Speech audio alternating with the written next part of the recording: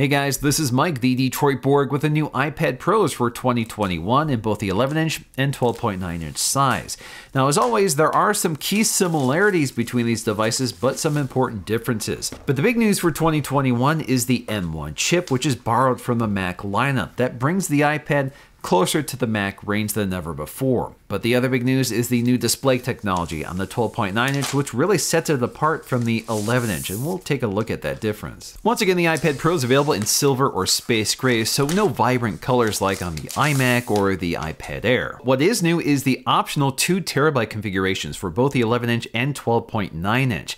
But we also get 5G for the first time, which adds another $200 above the Wi Fi model. So that's more expensive than the LTE radios from the previous generation. In terms of the included accessories, accessories, they're identical on both of these iPads. The only difference is if you get the 5G model, they'll include a SIM ejection tool with your paperwork. But otherwise, you get the same set of white Apple stickers along with a quick start guide. Also included is the new upgraded 20 watt power adapter. This is the same power adapter that launched at the end of last year. And of course, a USB Type-C power cable. Now, while the 11 inch base price still starts at 799, the base price of the 12.9 inch is $100 more expensive at 1099, and that's thanks to the XDR display. And for the first time, Apple is talking about RAM on their iPads. So they come standard with 8 gigs of RAM, but you can get 16 gigs on the 1 terabyte or 2 terabyte version. So that's a massive increase over the 6 gigabyte from the previous generation, and it also sounds very similar to the Mac lineup. In terms of design, not a huge departure from the previous generation. The display is still pushed to the edges and rounded off at the corners, which is the reason they call it a liquid retina display because it's smoothly rounded off at the corners. In terms of the basic specs and dimensions, these displays are carried over from the previous generation. The only real difference here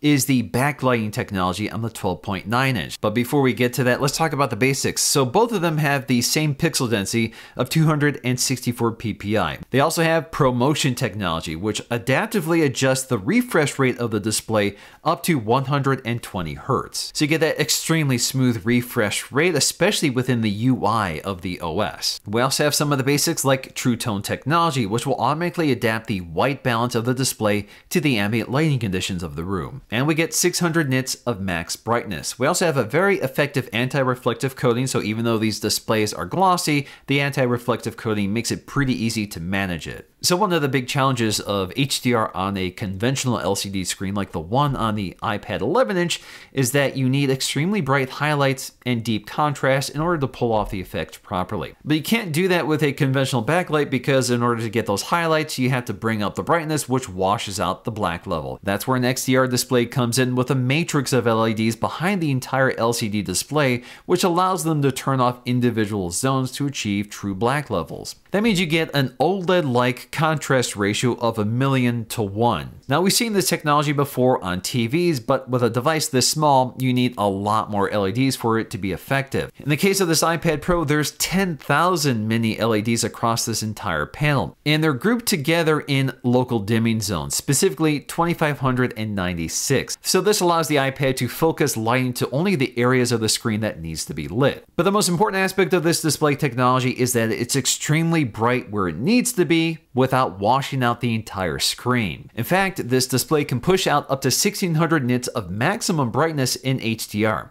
So that's useful for highlights or specular highlights, things that need to be bright on the display while everything else needs to be dark or black to achieve that extreme contrast. That's when things really pop in HDR. But of course, there are some drawbacks because there's far fewer LEDs than there are pixels. So that means you're going to still see some haloing around the areas you're lighting, especially when the background is supposed to be black. Now this is something you really only notice in certain scenarios and it's much less obvious when you're looking at the iPad head on, especially in a semi-lit room. But otherwise, this display is much more immersive and vibrant than any other iPad screen I've used. Now, there are some design differences between the Wi-Fi and 5G model to point out. So for example, there's an extra antenna strip on the 5G model at the bottom edge. And if you look at the antenna stripe at the top edge of the 5G model, you'll see that it wraps around the corner. And there's some additional antenna stripes at the top edge. But more importantly, with this generation are the millimeter wave antennas, which you'll find positioned at the top edge and bottom edge. This is the same antenna design that's also on the iPhone 12. Apple actually had to redesign the entire chassis of the iPad Pro in order to accommodate the optional 5G radios. So even if you have a Wi-Fi model, you can see the effects of the 5G design. So if you compare this to the previous generation, you can see that the speaker grills have been moved toward the center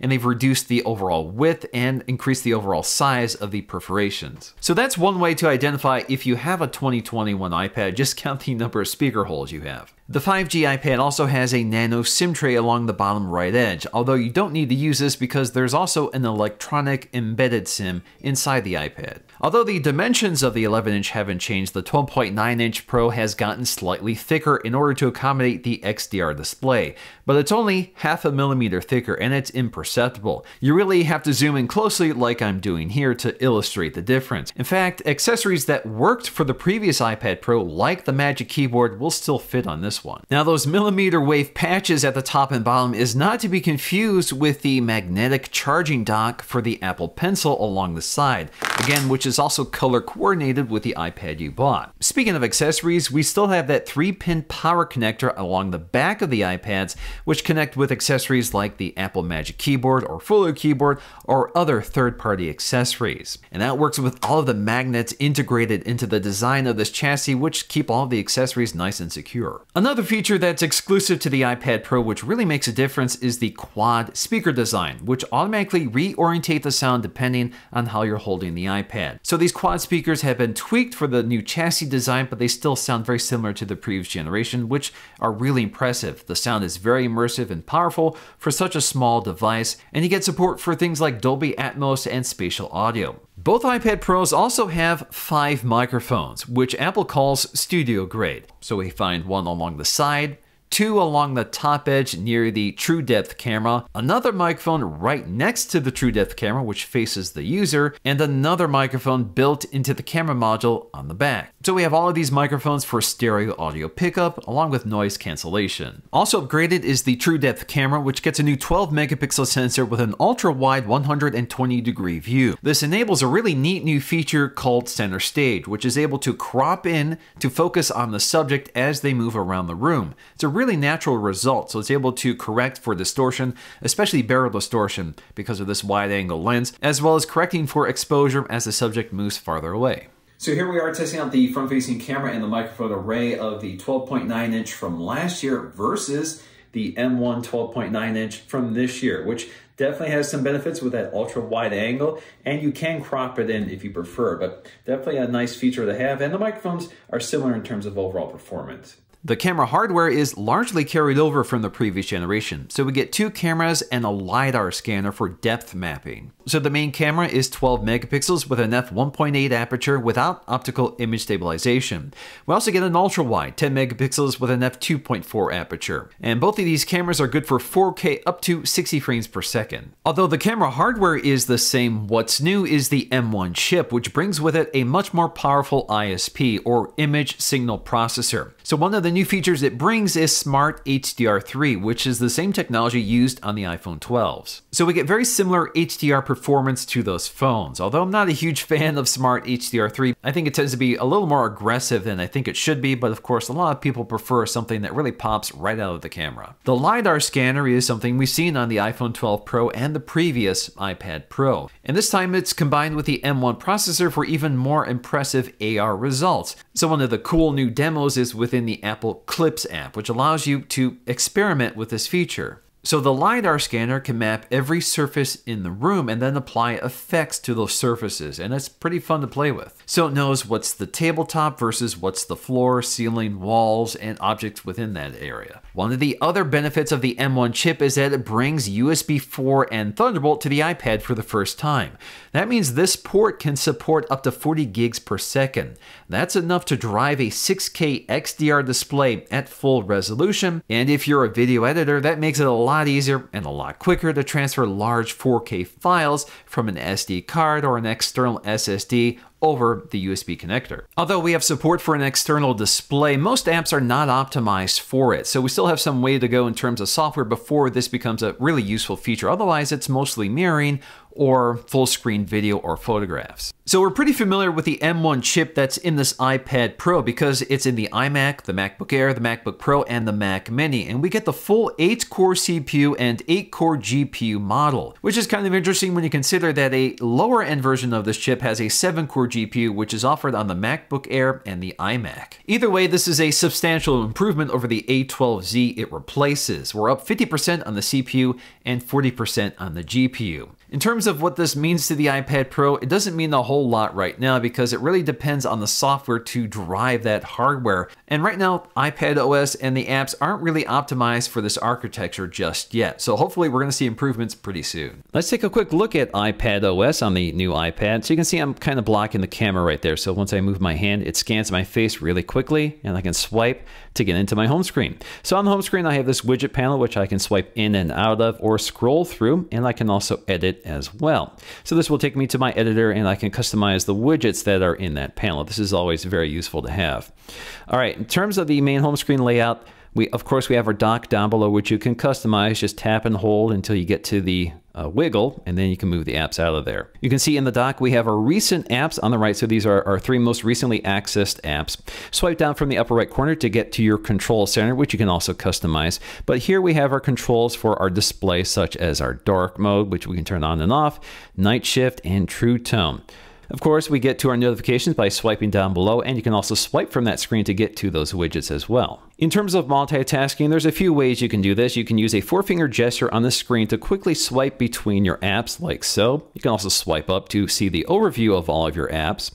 But you can also open up apps side by side. So for example, if I open up the Apple TV app, I can swipe up to get to the dock, to dock another app on the side. So let's go ahead and try the home app here. So all I have to do is drag it to the side, let it dock, and now I have a split screen view between these two apps. So I can interact with my smart home on the right side while navigating through my uh, media on the left. I can also undock this app and tuck it to the side like so and swipe it back in when I need it and I can continue using both apps side by side, but the apps do need to support this split screen view. And this arrangement is safe, so if you go back to the app, you can swipe in again to get back to your pair. For the most part, the software experience on both of these iPads is identical, but there's a slight difference here in terms of the keyboard. So because we have more room on the 12.9 inch, you get a number row at the top, which is not here on the 11 inch. But a good tip to know about using this on-screen keyboard is that you can resize it so it's a little more manageable.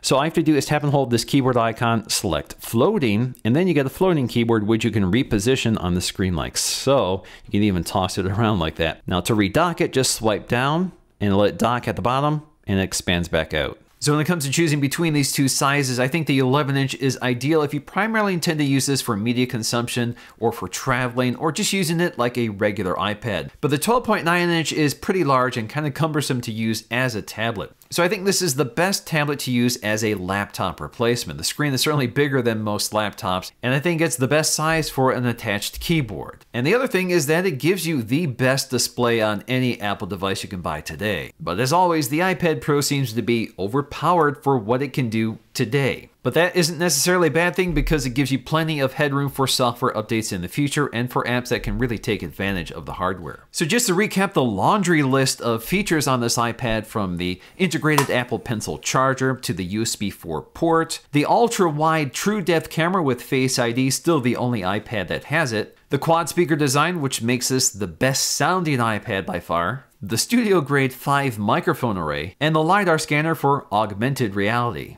Not to mention 5G, Wi-Fi 6, and up to 2 terabytes of storage with up to 16 gigs of RAM. So this is one of Apple's most capable and feature-packed devices, but the software story could use some improvement.